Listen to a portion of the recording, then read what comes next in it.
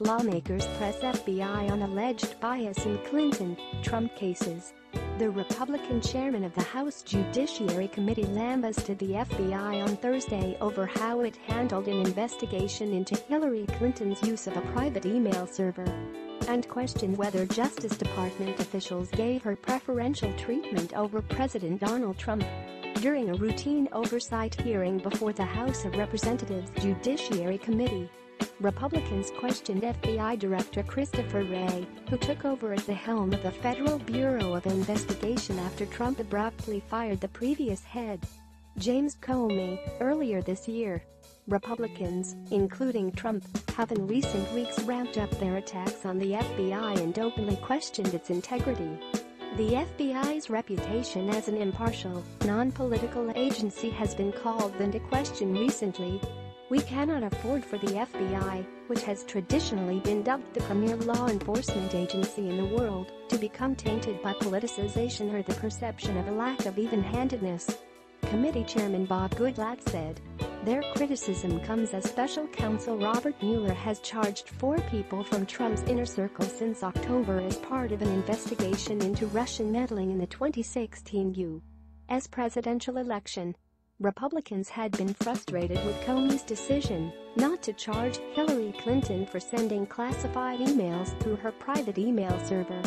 With potential challenges looming for the party as it heads into the 2018 congressional elections, House and Senate Republican leaders have ramped up attacks on Comey. Mueller and the FBI in recent weeks with a fresh round of congressional inquiries most recently, Republicans have questioned whether Mueller's team has a political bias against Trump. After media reports that FBI agent Peter Strzok was removed from working on the Russia probe because he had exchanged text messages that disparaged Trump and supported Clinton.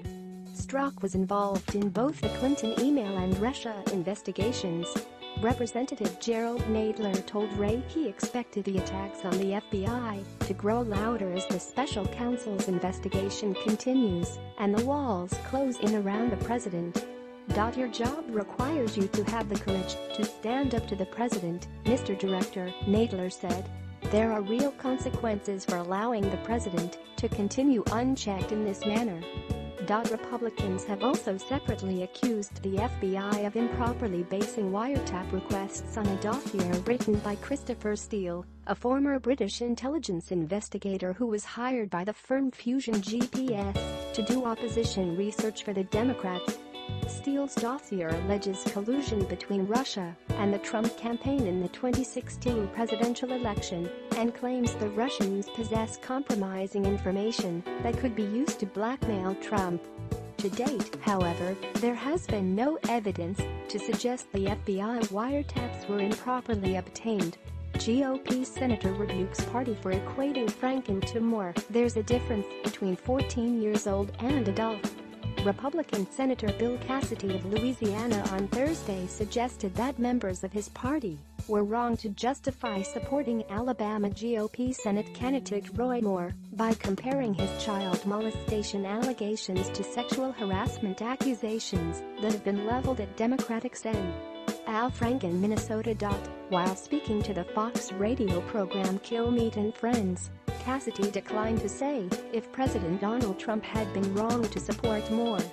I just decided I don't want to be there, Cassidy explained. That still stands. Do you feel is the same way about Al Franken? Do you think he should not be in the Senate? Host Brian Kilmeade wondered.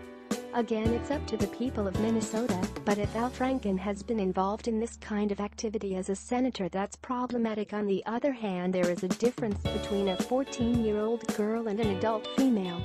I will say that, Cassidy pointed out. Skier Lindsey Vonn, I'm representing the US at Winter Olympics, not Donald Trump.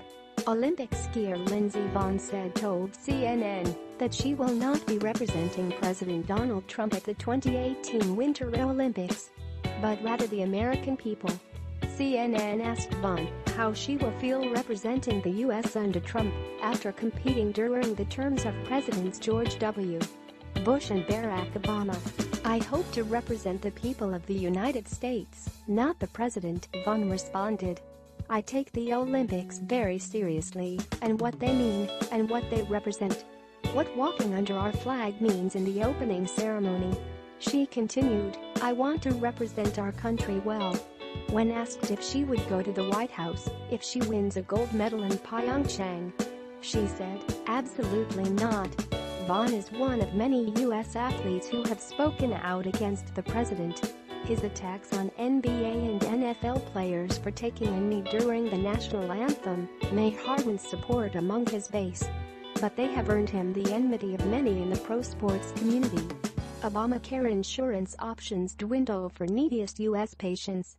Josh Brookhart has four health insurers to choose from in Seattle's King County for 2018. More than many Americans like him who buy coverage on the Obamacare individual market. Yet none of the plans cover all the complex medical care needed for his seven-year-old son. Gabriel. Born with an extreme form of Chiari malformation, Gabriel required surgery to reinsert a part of his brain into his skull. He lives with hydrocephalus, or extra fluid in his brain, and spina bifida, which causes abnormal development of the spinal cord.